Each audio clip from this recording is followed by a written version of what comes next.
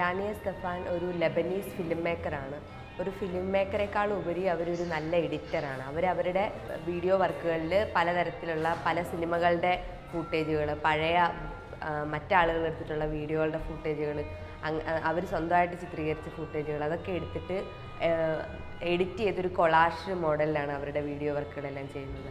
ആയിരത്തി തൊള്ളായിരത്തി എഴുപത് എഴുപതുകൾ ആ സമയത്ത് അവർ ബെയ്റൂട്ട് വിട്ട് ഫ്രാൻസ് ഓസ്ട്രേലിയ തുടങ്ങിയ രാജ്യങ്ങളിൽ പോയാണ് അവർ ഫിലിം മേക്കിംഗ് ഒക്കെ പഠിച്ചത്. പിന്നീട് അവർ ബെയ്റൂട്ടിലേക്ക് തിരിച്ചു വന്ന് അവിടെ താമസിക്കുകയും അവിടെ ഇരുന്നുകൊണ്ടാണ് കലാപ്രവർത്തനം ഒക്കെ ചെയ്യുന്നത്. ഇവിടെയുള്ള three disappearances of Sawad Husni എന്ന വീഡിയോ അത് ഒരു മണിക്കൂർ പത്ത് മിനിറ്റ് നീളമുള്ളൊരു വീഡിയോ ആണ്. ആ വീഡിയോയിൽ ഒരു ആയിരത്തി തൊള്ളായിരത്തി അറുപതുകളുടെ തുടക്കത്തിലും ഇങ്ങ് തൊണ്ണൂറ്റി ഒന്ന് വരെയും ഈജിപ്ഷ്യൻ സിനിമയുടെ ഐക്കൺ എന്ന രീതിയിൽ തന്നെ പറയാവുന്ന ഒരു നടിയായിരുന്ന ജവാദ് ഹുസ്നിയുടെ ജീവിതം ആണ് ഈ വീഡിയോ വർക്കിൽ നമുക്ക് കാണാൻ സാധിക്കുന്നത്. ജവാദ് ഹുസ്നി എന്ന് പറയുന്നത് ആയിരത്തി തൊള്ളായിരത്തി അൻപത്തി ഒൻപത് മുതൽ തൊണ്ണൂറ്റൊന്ന് വരെ ഈജിപ്ഷ്യൻ സിനിമയിൽ വളരെ സജീവമായിരുന്നു. അതായത് കൂടുതലും എല്ലാ റോളുകളിലും അവർ അഭിനയിച്ചു. ഓൾമോസ്റ്റ് ഒരു എൺപത്തി മൂന്ന് സിനിമകളിൽ നായികയായിട്ട് അവർ അഭിനയിച്ചിട്ടുണ്ട്. പിന്നീട് രണ്ടായിരത്തി ഒന്ന് ജൂൺ മാസത്തിൽ ലണ്ടനിൽ വെച്ചിട്ട് ഒരു ബാൽക്കണിയിൽ നിന്ന് വീണ് മരിക്കുകയായിരുന്നു അവർ ചെയ്തത്. അപ്പോൾ അവരുടെ മരണത്തെക്കുറിച്ച് ഒരുപാട് വിവാദങ്ങളുണ്ടായി.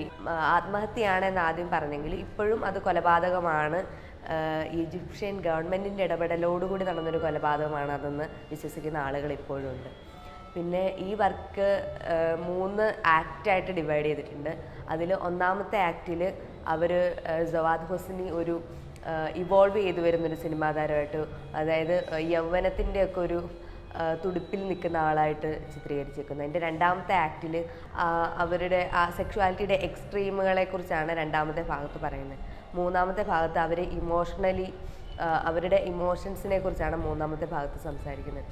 ആ, ജവാദ് ഹുസ്നിയുടെ ജീവിതത്തിനേക്കാളും ജീവിതത്തിന്റെ ഒരു ടൈം ലൈൻ വരയ്ക്കാനായിട്ട് അതിൽ ശ്രമിച്ചിട്ടുണ്ട്. അതേപോലെ തന്നെ ഒരു ഈജിപ്ഷ്യൻ ഫിലിം ഇൻഡസ്ട്രിയുടെ ഒരു ടൈം ലൈൻ ഉണ്ട്. ഈജിപ്തിന്റെ ഒരു പൊളിറ്റിക്കൽ സീനറിയോ അതിലുണ്ട്. ആ ഈ പല കാലഘട്ടങ്ങളിലായിട്ട് ഇവോൾവ് ചെയ്ത് വന്നിട്ടുള്ള ഒരു ഒരു ചെറിയ ഭാഗത്തെ ഹിസ്റ്ററി.